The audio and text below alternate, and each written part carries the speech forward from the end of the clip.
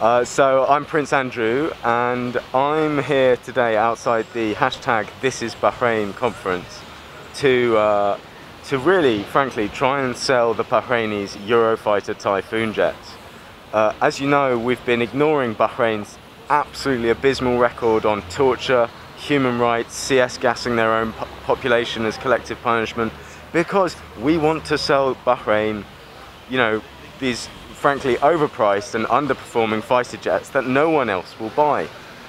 Unless Bahrain gets something else out of the deal, like ignoring their human rights, we're not going to make a sale. So that's why we're cozying up to Bahrain and we've been doing it for so long.